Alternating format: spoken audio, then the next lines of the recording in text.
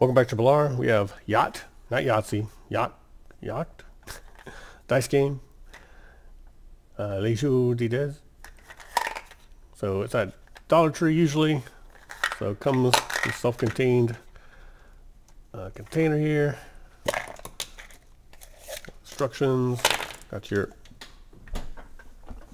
dice. It's your five dice. Right? Got five on the cover there. Okay. So they kind of flew out there. Five dice. One instruction sheet. I'm pretty sure it's this. Yeah, like Yahtzee. Got the score, the ones, the twos, the threes, the fours, examples.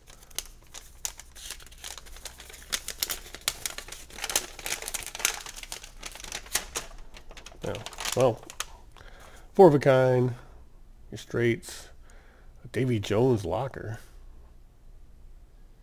Any combination of dice, players must repeat. Okay, so that's some different things here. A Davy Jones locker. We use any combination of dice. If we already use that combination of score, for example, we roll 2, 3, 4, 5, 6. If I've already scored a straight, you may enter 20. Okay. Under Davy Jones locker. Alright, well that's interesting. So there's some added uh, I guess, play mechanics in Yacht. So cardboard container. Uh, dice is alright. They feel fine. Uh, they're a little rounded on the edge, not total square it looks like.